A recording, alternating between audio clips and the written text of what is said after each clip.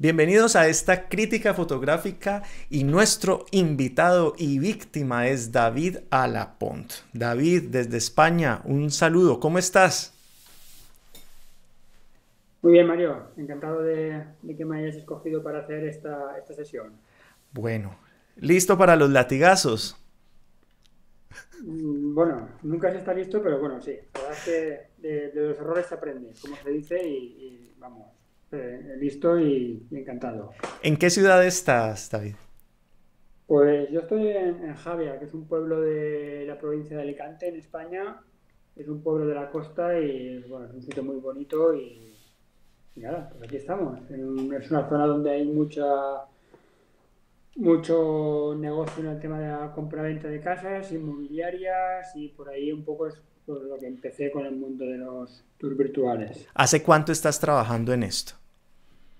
Pues en el tema de los tours virtuales como tal, eh, desde octubre del 2017 que invertí en una cámara de Matterport y bueno, viendo que la cámara de Matterport tenía sus limitaciones, empecé a informarme sobre el tema de utilizar una cámara reflex y con la cámara reflex estoy desde octubre, octubre, noviembre del año pasado. O sea, hace poco, soy un pano baby, pano baby. Bueno, bienvenido David. Entonces, ¿qué te parece si arrancamos viendo todos los puntos de los que vamos a hablar hoy? ¿Te parece? Eh, perfecto. Vale. Muy bien, David. Entonces, te voy a proponer que hagamos la siguiente sesión. O sea, vamos a trabajar sobre los siguientes seis puntos. El primero, el horizonte al centro, porque vamos a ver algunas fotografías hechas con dron. Entonces, lo del horizonte en el centro me parece que es clave. Y de una vez hablar algo llamado Papi Wizard, que yo creo que le puede interesar muchísimo a todas las personas que hacen fotografías con dron y no necesariamente Así sea que hagan fotografías eh, con trípode normal, este puede ser un tema muy interesante. Hablaremos del flare, que es algo que le puede suceder a muchos de los colegas también. tú tienes algunas preguntas sobre el método de HDR que estás utilizando, hablaremos de esto. Mm, yo te quiero contar algo acerca de la autorrotación que has programado en 3 de vista y finalizamos con comercialización. Muy bien, esta es la imagen que tú me envías. En esta segunda imagen vemos una fotografía realizada con dron desde el aire, ¿sí? Una playa muy bonita. Pero entonces yo noto una un, primer error y es el horizonte. Cuando tú tomas fotografías con el horizonte así de, en este estilo, bien sea en, con dron o desde tierra, el horizonte tiene que quedar totalmente recto, totalmente horizontal. Y en esta foto siento que el horizonte está curvado, o sea que aquí hay una ligera curva. Yo no sé si ahí la alcanzas a apreciar, tal vez. Se aprecia, se aprecia. se alcanza a apreciar. Bueno.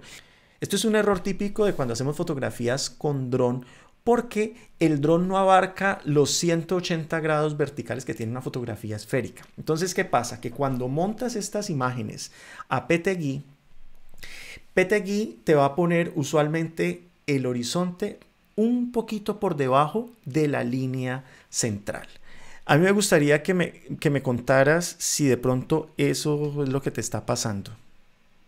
O sea, ¿Ese horizonte está exactamente en el centro o está por debajo? Un poquito por debajo. Poquito por debajo. Y así sean unos pocos píxeles, ese poquito por debajo que esté va a hacer que cuando se proyecte esa X rectangular en formato esférico se vea curvado. Y quiero explicarte, eh, David, por qué, cuál es la, razón técnica. Mm, esto lo podemos apreciar claramente en el siguiente ejemplo, fíjate voy a venir aquí al, a, uno de los ejercicios del curso de PTGui, que de una vez hago la cuña, se lo recomiendo muchísimo, es un curso en el que vemos PTGui desde 0 hasta 100, haciendo cosas que son bastante interesantes. Y en la lección número 12, yo le enseño a la gente a hacer el cubo de Rubik, eh, a hacer una fotografía del cubo de Rubik y a proyectarla.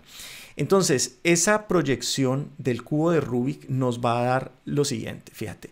En el cubo de Rubik vamos a tener unas líneas horizontales y verticales, ¿verdad? líneas horizontales y verticales que se forman por la conjunción de cada uno de estas de estos colores. Bueno, entonces, ¿qué pasa? Que si este cubo de Rubik en todos sus colores lo proyectamos de forma X eh, rectangular, vamos a tener la siguiente X rectangular. Y esto yo lo utilizo para poderle enseñar a los estudiantes las diferencias entre las distintas proyecciones. Tú sabes que hay proyección Mercator, proyección Vedutismo, proyección X rectangular, etc. Entonces, nos queda muy fácil poder aprender a ver las diferencias a partir de estas líneas del cubo de Rubik. Pero me quiero centrar es en lo siguiente. Nota que, ¿qué sucede con las verticales, David?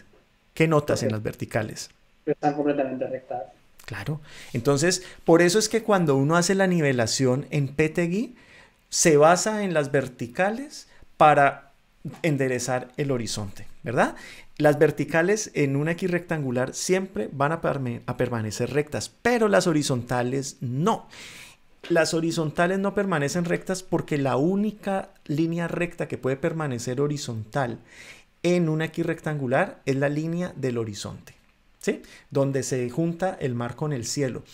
Y además, si tú puedes tener líneas que son horizontales en, en la vida real, pero en, eh, así como estamos viendo en el cubo de Rubik, van a ser representadas en la X rectangular como unas curvas. Entonces, a medida que tú te vas hacia los polos, quiero decir que vas aquí del centro hacia arriba o hacia abajo de la X rectangular, nota cómo van a ser más pronunciadas las líneas, las líneas horizontales, porque esto, esta línea que estás viendo acá es una línea horizontal que es, va a ser representada en la X rectangular como una línea horizontal, pero en la eh, eh, que va a ser representada en, cuando se proyecte como una horizontal recta, pero acá, fíjate que claramente esta recta se convierte en curva. Y pasa entonces lo contrario, si tú en una X rectangular tienes una línea horizontal recta, que no coincida con el centro, sino que esté ligeramente por debajo o por encima, cuando proyectas esa, esa línea recta, esa línea recta se convierte en curva. O sea, hace totalmente lo contrario de lo que estamos viendo acá. Y eso es lo que te sucedió en esta foto. En esta foto. El horizonte es una línea que seguramente la tienes recta, pero por debajo del horizonte. Y cuando, se, y cuando se proyecta, entonces se nos se nos vuelve una linecita curva. Eso es estimadísimo. ¿Y la solución qué es? ¿Llevar la línea del horizonte al centro de la pantalla o que quede un poco curvada en PTGui? Bueno, no. Entonces, ¿la solución cuál es? Como PTGui te la puede dejar horizontal, pero por debajo, yo lo que usualmente hago es llevarme esta X rectangular con ese horizonte por debajo a Photoshop y en Photoshop estiro de ambas partes, o sea, hago, hago un estiramiento hasta lograr hacer coincidir el centro del, mejor dicho, el horizonte en, la, en el punto central. Esa es la solución, no es más. Eso raramente, rara, rara vez ya te va a pasar en una fotografía esférica tomada con la DSLR. Eso, eso no pasa. ¿Por qué? Porque en la DSLR tú tienes la totalidad de de los 180 grados, entonces ahí la proyección que hace PTGui es muchísimo mejor. ¿Queda claro, David? Perfecto. Problema solucionado. Vamos al siguiente.